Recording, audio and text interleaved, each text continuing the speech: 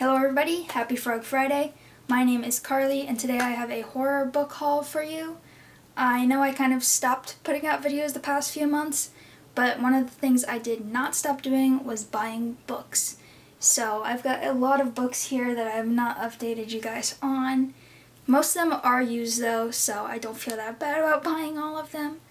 Um, yeah, let's just jump right into it and get started. So I will say there is a lot of Stephen King in this, but there's also a lot of other stuff. So even if you don't like King, you can always skip around a little bit. So the first book that I obviously have to mention is Holly by Stephen King.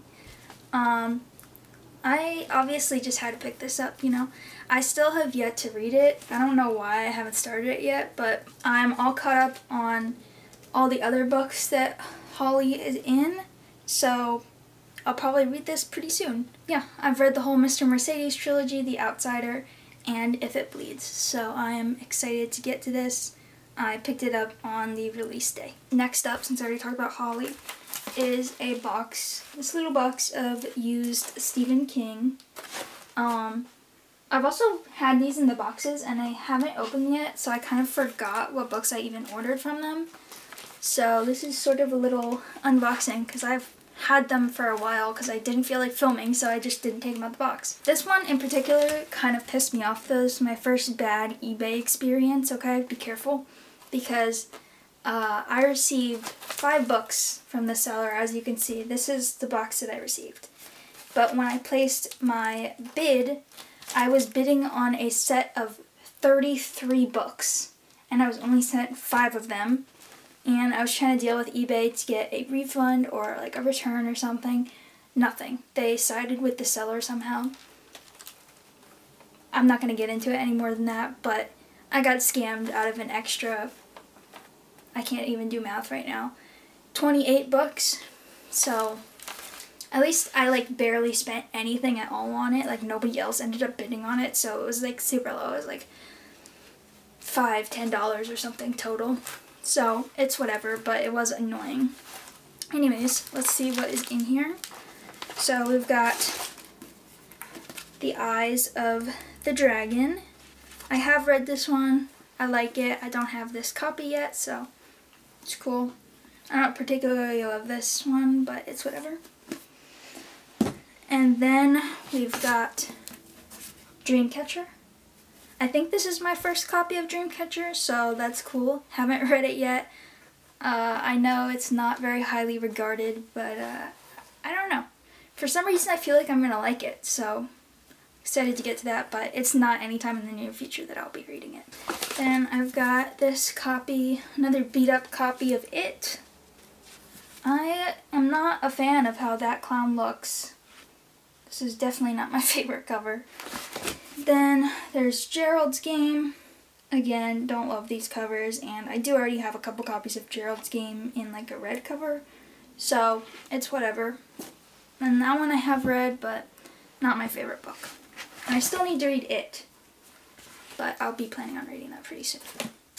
And then Bag of Bones. Uh, I forget, I think this might be my first copy of Bag of Bones. Yeah, doesn't look like I already own one, so that was good. Uh, I think I specifically bought that for Bag of Bones and Dreamcatcher, and I think there were some other ones in the other 33 books that I wanted but didn't get. So, what can you do though? eBay decided to side with the seller. I'm over it now though, it's been a few months. I guess I'll just do the rest of the King. So I've got another box of King. If you don't care about him, just skip to the next section after this box is done I'll put a little marker. What are they called? Bookmarks? Oh, yeah, I really forgot what's in this book. That one I could like see into kind of, but this one is, uh, well, I hope I blurted out my address on the other one. Um, this one is like bagged up, so I really cannot see in here, and I don't remember what I bought this for. I know two books that are in here, but the other ones I don't remember. Let's see. Oh, yes, yes, yes. So this is my first, this is probably the reason why I, this is one of the two reasons why I bought this book, or this box. Cujo. This is my first copy of Cujo. I like this cover quite a bit out of all the other options. I still really want like a hardcover of the brown or um, yeah, the brown one with like the dog on the front and then a black paperback with like the drooling mouth. I want both of those because I love Cujo, but this one's pretty cool too. Yeah, and I don't own a copy yet, so that's my first Cujo copy. And then I've got Desperation, which I have not yet read this or the Regulators. Um, I think, yeah, I already have a copy of Desperation, so this is a little bit of a duplicate, but I like this cover better. And I think I still need to find a Regulators copy though. Unless it's in this box, I don't remember. Also sorry, but I don't remember how much I paid for this one. It's been a while. Another copy of Hearts in Atlantis. I have yet to read this one, but I'll be reading it kind of soon because I'm on my Dark Tower journey. And Unfortunately though, I already have a couple copies of this exact cover, so it'll either be selling it at some point or maybe putting it in a little free library. Next up, my favorite Dark Tower book so far, The Wastelands. Um, I do already have like three or four copies of this. Somehow every book lot has this in it. so I don't need this one anymore, but I do love The Wastelands. got a couple more. Okay, another Green Mile with Tom Hanks on it. Again, I love the Green Mile. Don't really care for this cover, and I think I already have this exact same one. Yeah, I do, so I can get rid of this. Great book, though. And it looks like it, there's, there's a couple... There's a couple of the Green Mile um, serialized chapters in here, but it's not all six of them. Let's see which one we got. Part one, two, three, and six. So, I guess someone lost four and five, I don't know. Uh, yeah, and some of them were kind of beat up, like this, uh, the first one. Look at that back cover. It's kind of beat up, but I already have, I don't know if you can see them I can't figure it out. It's like down there.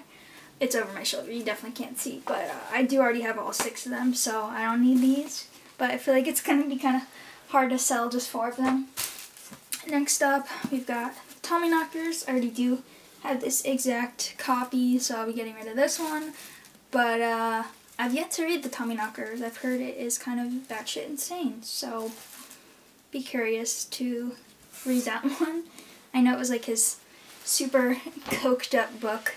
And then this is, other than Cujo, this is definitely the reason why I bought this for this edition of it. I really love this cover.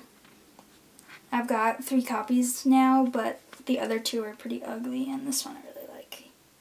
And it's in pretty decent condition. No rips or anything. Spine looks decent. So I'm happy about that. Um, then I've got the Talisman. I think this is the only copy I have of this so far, and I actually just read this recently. Was not a huge fan of it. I was kind of bored, but I at least have a copy of it now, so that's cool. And the last book in here, again, so that I could make this worth purchasing, I guess, Bachman Books. So I do have a couple of them I still need to sell. Uh, this one I might be keeping though instead of and selling the other ones because this one looks to be pretty good. Um, yeah, pretty good condition. I have read all the Bachman books already, so yeah. Well, all the ones in here. I've still not read Blaze or uh, Regulators Desperation, whichever one it is that's a Bachman book. Or Thinner. I haven't read Thinner either. Alright, and that is all the King, so if you're just here for King, goodbye. That is it. I've got a few more books though, if you are interested. So, still sticking to horror, um, I visited, a few months ago, I visited my brother. I have an older brother and he lives in the northeast up in Vermont. And he took me into this bookstore that he's got up there that's pretty cool. Ton of used books, but also some new ones. So I saw these two books, the Scary Stories to Tell in the Dark, and then More Scary Stories. And I don't know about you, but I read these as a kid, and so for nostalgic reasons, I decided, yes, I do need to buy that. They were like used copies, so they were pretty cheap. And the only thing is, I realized when I got home, give me one second. I guess they're slightly different, but I realized when I got home with these two that I actually had already bought these two at some point in my life that are the exact same. They're like slightly different. The size difference. The ones I bought in Vermont are a little bit smaller, but it's literally the same thing. So I obviously had the same uh, thought at some other point saying, oh, look at this. I remember those as a kid. Let me buy them. And uh, yeah. So now I've got double copies of each of those. Accidentally bought it. And then I decided to also buy two new books from there because I just wanted to support a small store and also some smaller authors. So I picked up Cirque Berserk by Jessica Guess. Still have not read this one yet, but I've heard good things about it. Um, heard that it's a fun little theme park slasher. So I bought that one new. Excited to get to that. And then my other one was A Blackness Absolute by Caitlin Marceau. This is her newest release, I believe. Um, I honestly know nothing about this book. I have no idea what it's about, but I know that I really loved her other novella. This is where we talk things out. Really love that one, so I figured why not support her again and buy this one.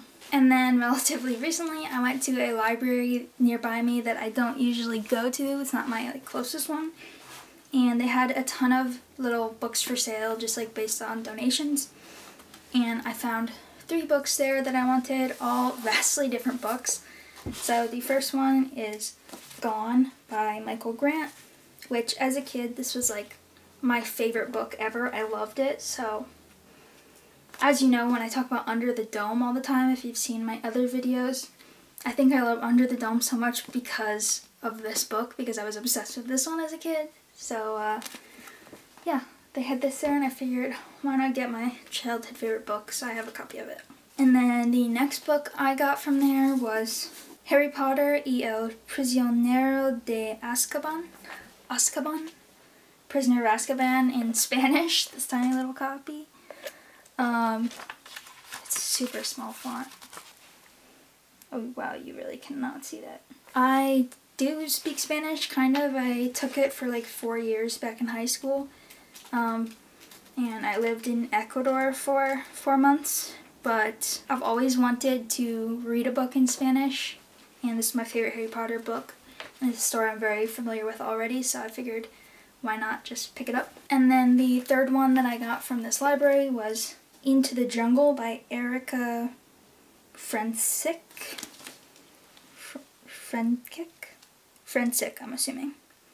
Um, I don't really know what it's about, but you put a jungle on there, then I'll probably read it. A thriller in the jungle. I'm gonna buy it. Okay, that's all it takes for me, honestly. Okay, and then last but not least, I went to uh, Virginia recently to visit some family at a beach and there was a used bookstore there so I obviously had to go into it and I picked up three different books that are all nature related. So first one I got was The Lost City of Z, A Tale of Deadly Obsession in the Amazon by David Grann.